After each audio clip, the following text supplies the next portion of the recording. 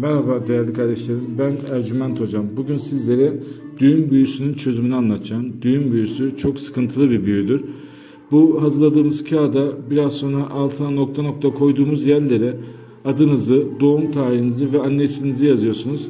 Daha sonra bu kağıdın ekran görüntüsünü alıp bilgisayar çıktısını alın ve evinizin etrafında bir yere toprağa gömün. 20-25 günlük bir süreçte bütün sıkıntı problemin gittiğini göreceksinizdir. Bu işlemi yapan kardeşlerimiz olumlu güzel sonuçlar elde ediyorlar. Aynı zamanda ücretsiz yıldızlama bakımı yaptırmak isteyen kardeşlerim de bana Ercüment Hocam Instagram kanalından ulaşabilirler.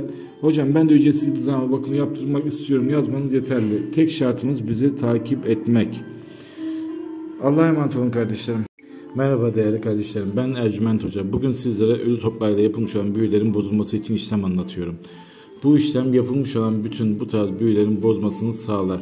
Şimdi nokta nokta koyduğumuz yere adınızı, doğum tarihini ve anne isminizi yazıyorsunuz. Daha sonra bu kağıdın ekran görüntüsünü alıp bilgisayar çıktısını alıp evinizin etrafında bir yere toprağa gömün. 20-25 günlük bir süreçte bütün sıkıntı, problem ortadan kalkacaktır.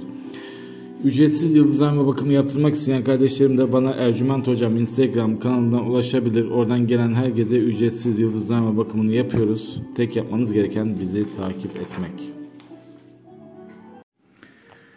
Merhaba değerli kardeşlerim. Ben Ercüment Hoca. Bugün sizlere kendinize engel olamıyorsanız bu işlemi hazırlıyorum. Kendine engel olamayan tüm kardeşlerim bu yazdığım yazıyı üzerine adını, doğum tarihini ve anne ismini yazıyor.